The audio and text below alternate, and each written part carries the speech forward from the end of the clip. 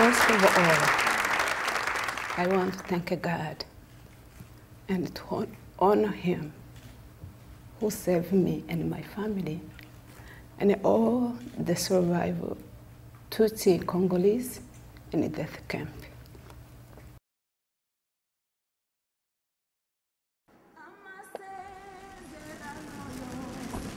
nta mbaraga ngo itere nta bundi buryo twari dukwiye kuva muri muri gasayi ngo tugenderiye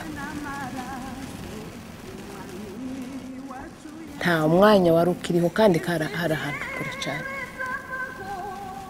Kuko twateketse kuko abantu bose bapfuye. Kandi imyaka yari ihaye igenda ikura igenda ikura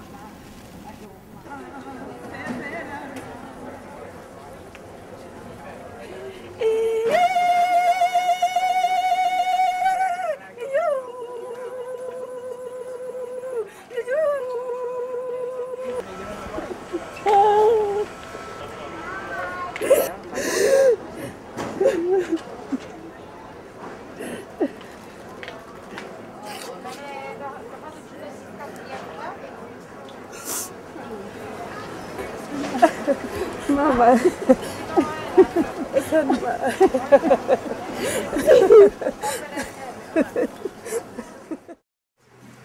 Kurwa, w łzy się, rozczawkowania kultury.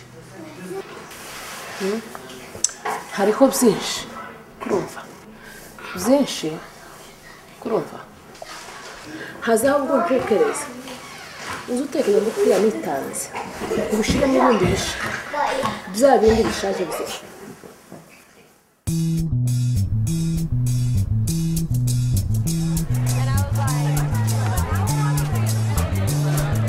nshaka kubera ntawe ubuzima bwaje muri make ubuzima bwaje uko bwagenze muri uko gufunga kwa gufunga kwa ba mama ba mama nyine nabo barakomeza barafungwa bamazemo iminsi myinshi uyu ngo aje guhinga aje kugira gute wenda ejo bundi tuzungu ngo bose barashize Ninapenda, nitaenda, ninawaza kwenda Kongo. Ungependa, lakini nina swali. Is it safe? It's not safe.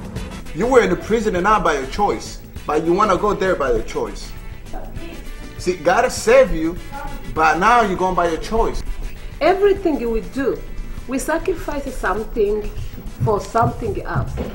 Njye sinakwemerera kandi sina- sin- sinabikunda I believe Congo one day will be peace.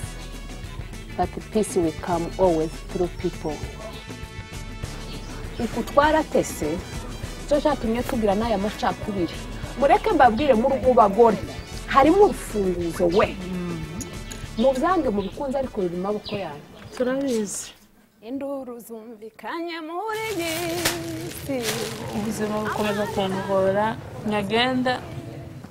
Hashize iminsi mikeya haza ayandi makuru aravuga ngo yaya ngo mwaba babakuye mu ntuza babajyanye mu- mu yindi pirizo Baratashe mu birori byo mu ijuru ishimwe ni iryawe ishimwe ni iryawe ishimwe ni iryawe yesu